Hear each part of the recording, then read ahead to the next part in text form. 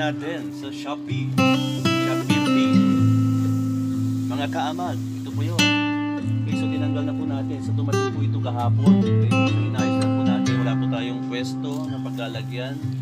Ito na lang po sa ano natin. Sa halamanan. Sa third floor. Yun. So, kailangan tumaas po yung humidity.